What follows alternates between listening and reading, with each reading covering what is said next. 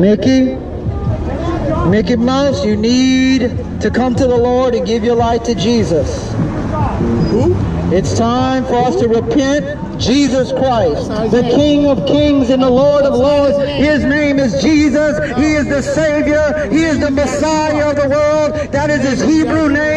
His English name is Jesus Christ. His Hebrew name is Yeshua. Hallelujah. Praise the Lord. His name is Jesus. We got a heckler today. We got a heckler today. Hallelujah. Praise the Lord. Mickey, you have to repent. Turn to Jesus. Turn to Jesus. That's not his name. That's a man-made. Turn to Jesus Christ or you are going to face the judgment of Almighty God. Turn from your wicked ways or you are going to face the judgment of Almighty God.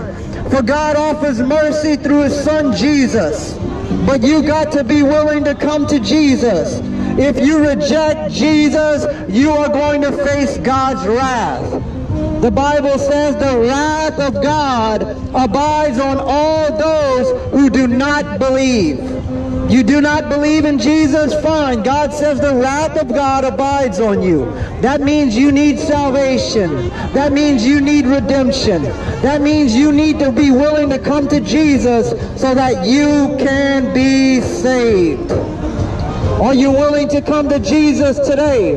Are you willing to turn away from the things of this world and come to God to receive His forgiveness, to receive His mercy? Because God offers mercy and God offers grace through His Son Jesus.